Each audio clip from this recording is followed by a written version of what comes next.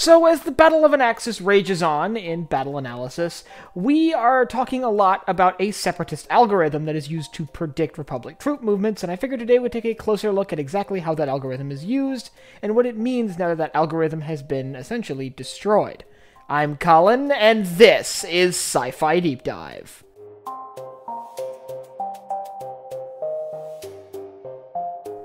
Remember, if you enjoyed this video, to head down below and hit that subscribe button. So one of the key elements of the Battle of Anaxes, as it's depicted in the Clone Wars, is the effort by the Republic to disable a large-scale separatist algorithm that is very effectively predicting Republic troop movements and countering them. It's being used by CIS forces operating on Anaxes to outmaneuver Republic troops, and ultimately slowly inching the battle towards a separatist victory. However, during a raid, Republic forces were able to figure out that this uh, algorithm was really a series of responses carried out by a captured and sort of technologically modified POW that was once the Republic clone Echo. With this information in hand, a Republic commando team was sent to Skako Minor to recover the captured clone and disable this separatist algorithm. However, this raises some questions as to how this algorithm was actually used. And these questions are actually answered in a pretty major blunder on the part of the Techno Union.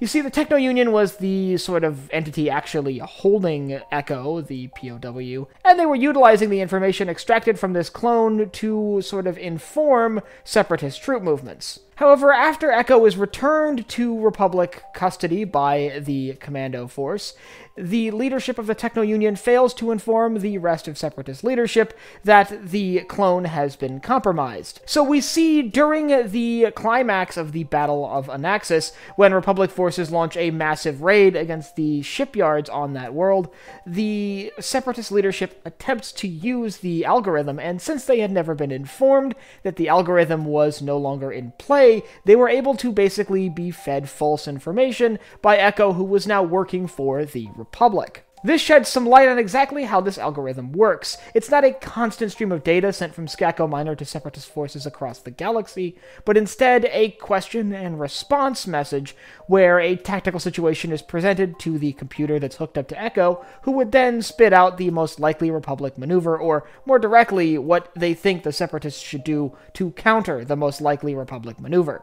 This would allow separatist forces to relatively effectively counter the maneuvers carried out by Republic commanders, particularly commanders that had served with Echo and developed tactics with Echo, most notably Captain Rex. This led to a string of separatist victories on Anaxes that nearly tipped the scale of the Battle of Anaxes in favor of the CIS. Now, it's another question whether that would have made much of a difference in the war as a whole, as the Battle of Anaxes is just one of many battles, and ultimately wouldn't have shifted the tide that much. But that being said, it still could have led to a separatist victory on Anaxes, and had this algorithm been successfully employed elsewhere in the galaxy, could have led to separatist victories on other battlefields. However, thanks to the raid carried out by Republic commando units, it was not successful. And this algorithm is ultimately one of the reasons why the raid on Skako Minor had such a massive effect on the outcome of the Battle of Anaxes, and some would say the whole war. Since the Techno Union had failed to communicate that the clone intelligence had been compromised,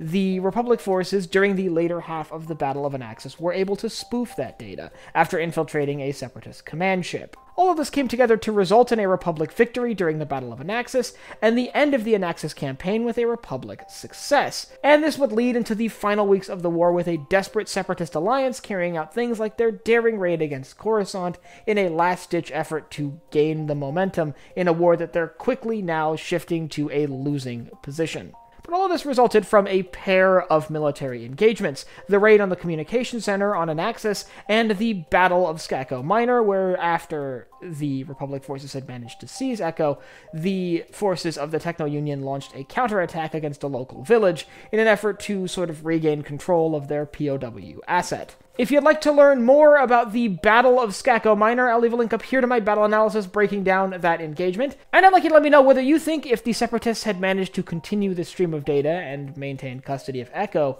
if the Battle of Anaxes and indeed perhaps the entire outcome of the Outer Rim sieges could have been different, or do you think this was pretty much set in stone and that no amount of intelligence at this point could have turned the tide of the war in favor of the CIS? And if you have anything else you'd like to see me cover in Star Wars, you can let me know down below in the comments. Last but not least, if you enjoyed this video, head down below, hit the like button, the subscribe button, and the bell icon so you get notified when I upload new videos. So for Sci-Fi Deep Dive, I'm Colin, and I will see you next time.